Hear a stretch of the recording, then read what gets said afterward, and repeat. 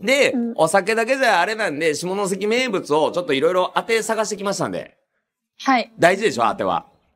大事ですね。例えば、どん、どんなのが好みなの当て。ええ私はね、うんあの、一番好きなのうんは、ホタルイカ。ホタルイカ？お気づけ？はい。それもう絶対日本酒合うやん。はい。もうね、あの、臭いの好きなんで、おうおうおうあと、し、白子とか、おうおうおうそういう系が好き。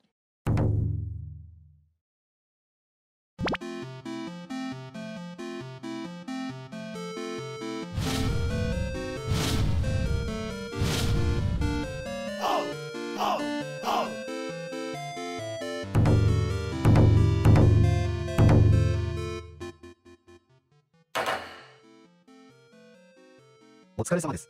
田崎さんの稼いでる方法を実践したら1週間ちょいで100万稼げました。お、いきなり結果出てますね。素晴らしいっす。プランの選び方も参考にしてます。田崎さんのおかげでこの先も稼げそうです。いえいえ、すぐ諦めちゃう人もいる中で、ちゃんと実践してきた結果ですよ。